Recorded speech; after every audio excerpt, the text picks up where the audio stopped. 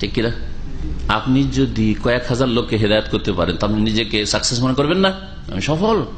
কিন্তু আপনি যে, না, আমি গোটা গ্রামে দশ বছর মেহনত করে, আরে, এক দুটাও পারলাম না, তিনটা পারলাম না, তাহলে আপনি নিজেকে হ্যাঁ কমজোর মনে করবেন আমি- তো, আমি সাকসেস হতে পারলাম না। যদিও দিন ইসলামের দাওয়াতের ক্ষেত্রে কখনো এই হেনমন্যতে ভোগবেন না। কারণ নবী করিম সাল্লাম বলেছেন যে লাইয়াহাদি আল্লাহ বেকা রাজুলান ওয়াহেদান খাইরুল্লাকা মিন হমরিন নাম। তোমার দ্বারা একটি লোক যদি হেদায়ত হয়, একটা লোককে যদি হেদায়ত করে, সারা জিন্দগিতে মেহনত, পরিশ্রম করে মেহনত করা লাগবে অবশ্যই। অলসত্ব করে ঘুমিয়ে থাকবেন, একটা হয়ে গেছে, কাজ হয়ে গেছে। না, ওইটা নয়।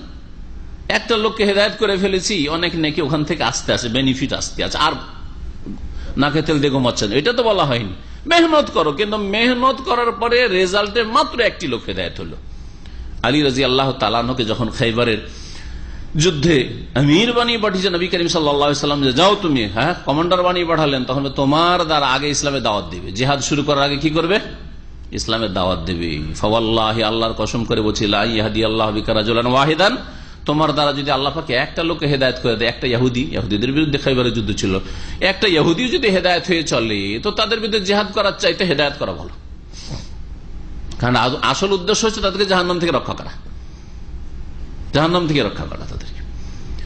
খৈরুল্লাকা তোমার জন্য এটা কল্যাণকার হবে। মিন হমরের নাম, লাল ওটের চাইতে বেশি। লাল ওট সেই যুগের মূল্যবান সম্পদ ছিল। সবচেয়ে মূল্যবান সম্পদ আরবদের কাছে। ওর চাইতে বেশি মূল্যবান বিষয় হবে আপনার দ্বারা একটি লোকের হেদায়ত হওয়া। সুতরাং একজন সাধারণ মানুষ যদি একটি লোকও হেদায়ত করতে পারে, এটা আপনার জন্য অনেক বড় বিষয়।